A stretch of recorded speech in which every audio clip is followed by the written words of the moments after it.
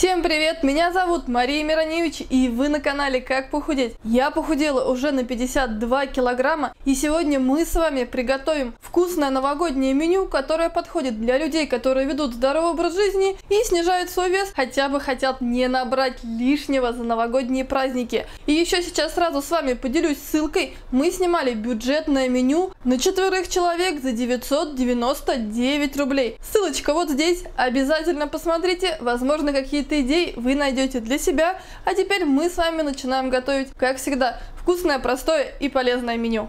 Конечно, начинаем готовку с горячего. Здесь у меня полкило индейки, и я ее нарезаю на достаточно крупные кусочки. Вот такие красивые кусочки индейки получились. Наша задача сейчас ее замариновать.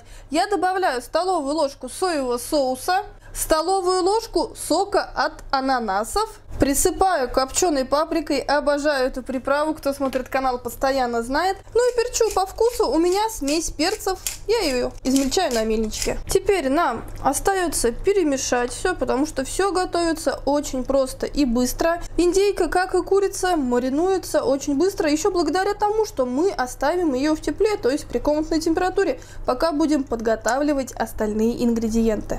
Перед тем, как готовить шпажки, нужно замочить хотя бы на полчасика. Теперь я их из подходящей по размеру посуды достаю и просто кладу на бумажные полотенца, из них уйдет лишняя влага. Я обожаю такое сочетание индейка и ананасы. Для меня это очень по-праздничному. С ананасами поступаю просто, просто вот так на четвертинки разрезаю и еще вот так делаю. На восьмеринке получается. Для того, чтобы было наряднее, я взяла половинку красного и половинку желтого. Так будет будет очень красиво и по-праздничному. Перец я сейчас нарезаю достаточно крупно, вот на такие кусочки.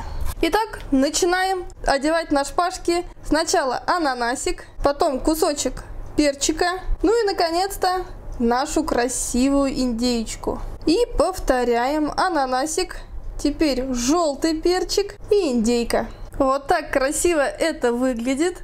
У меня есть вот такая решетка-гриль, я ее предварительно смазываю маслом и именно туда буду отправлять шпажки с нашими шашлычками. Вы, конечно, можете отправить просто на противень, либо на какую-то посуду, которая есть у вас, и шпажки туда подходят по размеру. Наши шашлычки вот так красиво, нарядно, по-новогоднему выглядят. Самое время отправить их в духовку, разогретую до 180 градусов.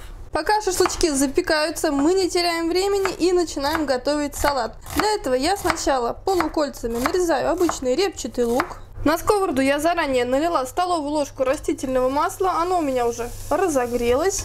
Сейчас разделяю лучок на кольца и оставляю пассероваться на сковороде. Еще для салата нам понадобится 3 шампиньона, у меня они крупненькие. И сразу хочу сказать, как всегда, все ингредиенты будут в описании под этим видео, обязательно заглядывайте. Вот такими тоненькими пластинками я нарезала шампиньоны и отправляю их к луку. Грибы я сразу перчу, чтобы от перчика остался аромат. Ну и, конечно, лук и грибы нужно перемешать. Наш салатик будет с индейкой. Индейку я предварительно приготовила, и у меня ее 150 граммов. Нарезаю ее мелким-примелким кубиком. После индейки я натираю 3 яйца на крупную терку и не забываю, конечно, что грибы нужно помешивать. Тем временем мы не забываем про шашлычки. Их нужно сейчас перевернуть для того, чтобы они равномерно запеклись. Вы видите, эта сторона уже у нас подрумянилась. Мы хотим красивые шашлычки, поэтому сейчас их перевернем. Это тот соус, которым я их мариновала. Щедро смазываю их и отправляю в готовку и будем уже готовить до готовности. Следующие на очереди у нас красавчики соленые огурчики. Я их сначала нарезаю на пластинки. Теперь каждый огурчик я разрезаю на три части. И вот на такие тоненькие брусочки нарезаю наши огурчики. Средом мелко нарезаю зеленый лук. Вы можете использовать любую зелень, которая у вас есть, ну или которая вам просто нравится. Грибы я уже отправила в салатник и немного их присаливаю и добавляю все ингредиенты огурчики, яйца, которые мы натерли на крупной терке, индейку, зеленый лучок. Наш салат заправляю двумя столовыми ложками сметаны. Вы, кстати, можете использовать йогурт. Добавляю столовую ложку зернистой сладкой горчицы. И еще добавляю чайную ложку лимонного сока.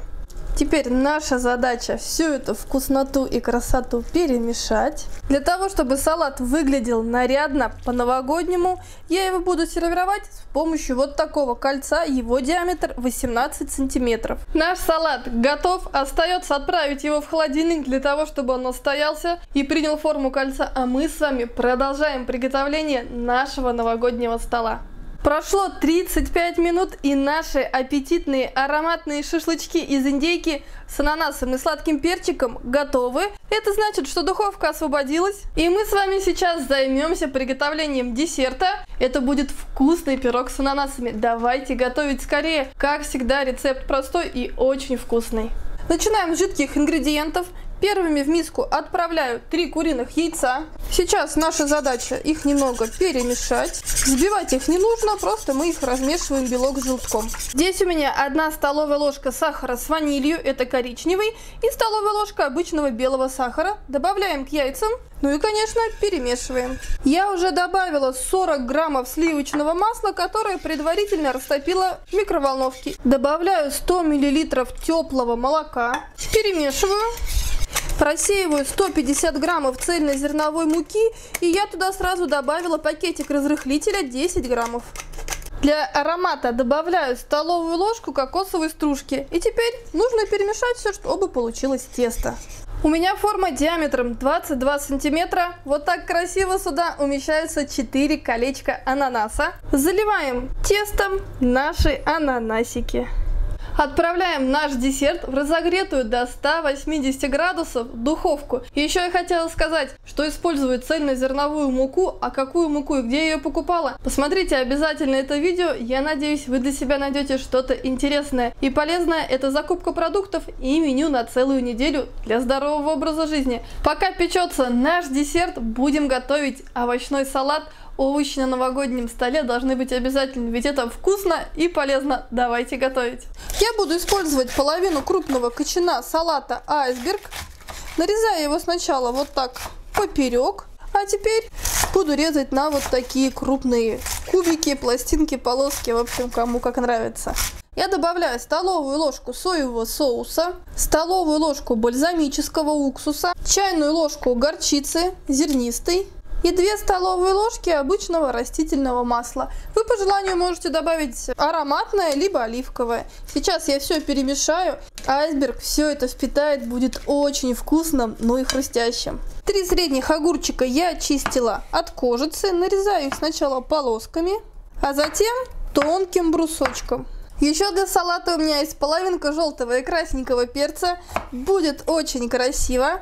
Нарезаю перчик тоненькой соломкой. Еще я нарезаю мелко зелень укропа. Вы опять можете выбрать зелень, которая есть у вас, либо отказаться от нее совсем. Это дело вкуса.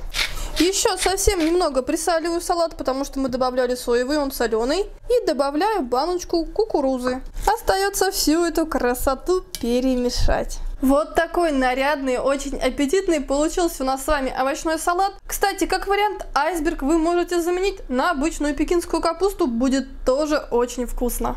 Прошло 35 минут, наш пирог готов, давайте скорее посмотрим на него. Вот такой он, красивый, румяный, там видны ананасики, а это значит, что после новогоднего застолья нас ждет чаепитие с ароматным пирогом. Итак, основное блюдо, десерт, салаты готовы. Давайте приготовим что-нибудь еще быстрое и вкусное. Это будет канапе. Давайте готовить, будет два разных вида канапешек. Как основу я буду использовать сыр.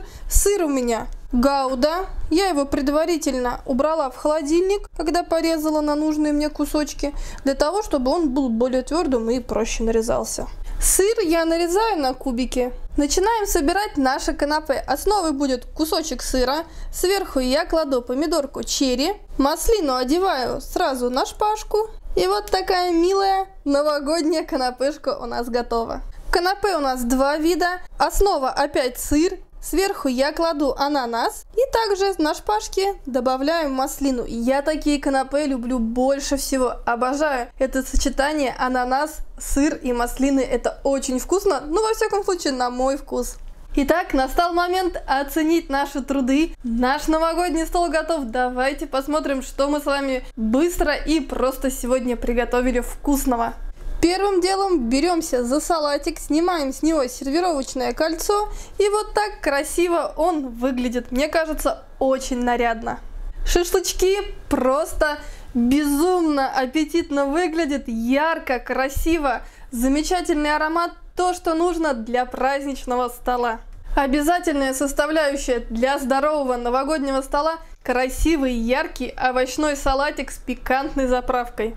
Для тех, кто хочет перехватить за столом новогодним что-нибудь вкусненького, мы приготовили два вида канапе. Для любителей классики канапе с сыром, помидоркой и маслинами, а для таких, как я, которые обожают сочетание сладкого и солененького, будут канапешки с сыром, ананасом и маслинами, мои любимые. И, конечно, вот он наш красивый десерт, пирог с ананасиком, вот он ананасик. И еще благодаря тому, что мы добавили кокосовую стружку, аромат не только ананаса, но и кокоса очень вкусно и по-праздничному. Вот такое у нас получилось новогоднее меню. Все просто и со вкусом. Это как раз те варианты, которые я так люблю. Ваше мнение, как всегда, жду в комментариях. И обязательно делитесь вашими рецептами здоровых, полезных блюд к новогоднему столу. Мне это очень сильно помогает. А вот здесь появятся еще наши новые полезные, ну и, конечно, очень вкусные видео. С вами была новогодняя Мария Мироневич. Я желаю всем любви, добра, ну и, конечно, отличного настроения.